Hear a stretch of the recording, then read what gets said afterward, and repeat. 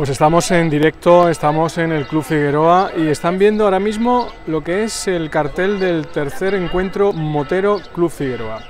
Bueno, vamos a hablar de este encuentro que se realiza por tercera vez y estamos con Manuel Tejero, que es eh, miembro del Club Figueroa. Don Manuel, muy buenas. Buenas tardes. Bueno, hemos visto el cartel, cuéntanos un poquito qué se va a vivir aquí el día 7 de abril.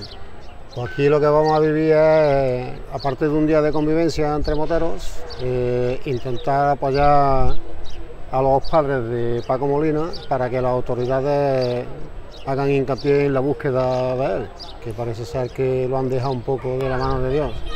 Bueno, esto es un encuentro que, se, que organizáis cada año, ¿no? Este es el tercer año. Este es el tercero, sí. Y este año, cada año lo dedicáis a, a alguien, a algo. Sí, todos. Los tres eventos han sido dedicados a alguien y este año habéis decidido a Paco Molina. A Paco Molina. Recordemos que Paco Molina lleva desaparecido más de tres años. Desde el 2015. Y hasta la fecha no hasta se sabe la fecha nada. no se sabe nada de él. Y entre todos habéis creído conveniente pues eh, organizar este encuentro eh, para recaudar dinero para... Y llamar la atención de, de las autoridades para que hagan hincapié, eh, vuelvo a decir, hincapié en la búsqueda de Paco Molina. Que hasta la fecha no se sabe nada, ¿no? Nada.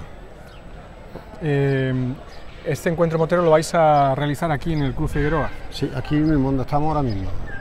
Preséntanos a esta mujer que está aquí custodiando la moto. Esta mujer Ima Murillo, directiva del Club Figueroa, que es la, la pionera de, de, este evento y yo soy colaborador de ella. Vale, ¿qué hay que hacer el próximo día 7 de abril? ¿Qué hacer? ¿Qué, qué hay que hacer? ¿Que hay, hay, que venir en moto? ¿Se hay puede que venir, venir, hombre, se puede venir en moto, en coche, andando, en bicicleta. La cuestión es venir y inscribirse. Si viene en moto, bastante mejor.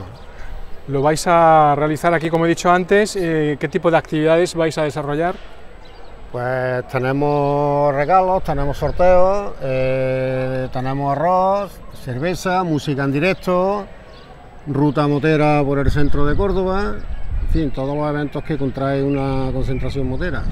Bueno, ¿y que eh, de asistencia se espera mucha? ¿Cómo han sido los otros sí, dos esperamos encuentros? que sí, porque la, la, primera, que es la que más dudas teníamos, tuvimos bastante asistencia y la del año pasado fue fenomenal. Si sale siquiera como la del año pasado, mm, bien.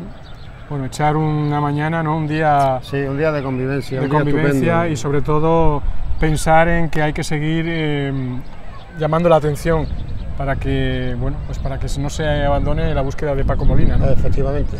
Los padres me imagino que muy contentos no los padres contentísimos incluso no se lo creían eh, porque es harto de dar tumbos de bregar y de luchar y buscar apoyo pues cuando se le llamó para decirle que íbamos a hacer el evento en nombre de Paco Molina y tal pues la verdad que se sorprendieron muy mucho.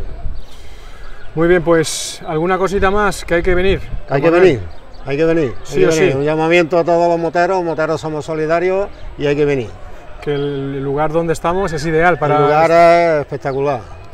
Pues eh, muchísimas gracias por atendernos, muchísimas gracias y enhorabuena por esta iniciativa y ojalá algún día podamos celebrar la aparición de, de Paco Molina. De Paco. Muchas gracias. Nada, a ustedes.